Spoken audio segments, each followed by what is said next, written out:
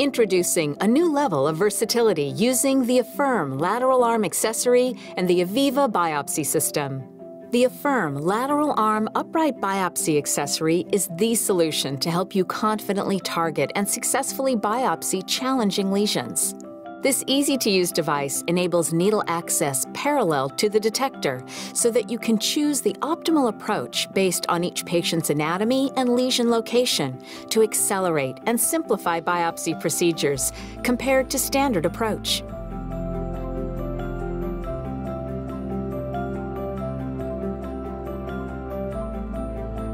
The choice is yours. The Affirm lateral arm can be mounted to the biopsy guidance module from either the left or the right side. For today's procedure, we will approach from the left using the blue side. To begin, remove the needle guide holder from the Z-rail and install the lateral arm compression paddle onto the Selenia Dimension system. Installing the paddle signals to the system that this is a lateral approach procedure automatically adjusting the software prompts, safety margin calculations, and displays accordingly. Connect the Eviva adapter to the carriage according to the color coding, blue in this case. After attaching the adapter, the needle guide is attached. Slide the device mount onto the lateral arm and lock it into place by turning the locking mechanism to the down position.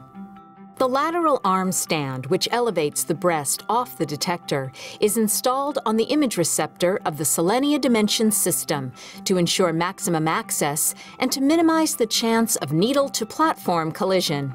After the patient is positioned, a TomoScout image is acquired. Scroll through the images to locate the lesion and target with a single click of the mouse. The TomoScout contains all the information needed to target in three-dimensional space. The coordinates are then transmitted to the biopsy control module. The lesion coordinates are displayed as X, Y, Z, and a fourth coordinate, also called lateral X. The Z rail on the Affirm is advanced to the target by pushing the motor enable buttons on the front and back of the biopsy control module. The needle is in the correct location when the differential line shows color and stops moving. The Z-knob is then used to move the Z-rail and lateral arm until all numbers are green, and the numbers read zero across the differential line. Set the fourth coordinate, as shown on the BCM, attach the needle guide, and load the biopsy needle onto the lateral arm.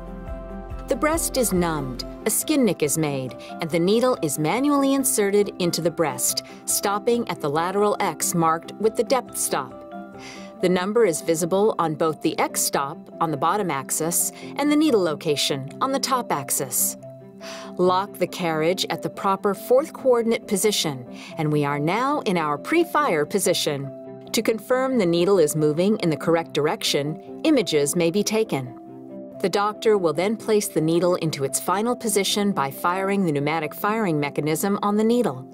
After confirmation with post-fire images, the doctor is ready to take samples. Because the fourth coordinate moves in the same direction as the x-axis and the X-ray beam is perpendicular to the biopsy needle, the doctor and technologist will be able to visualize the entire biopsy aperture with confidence.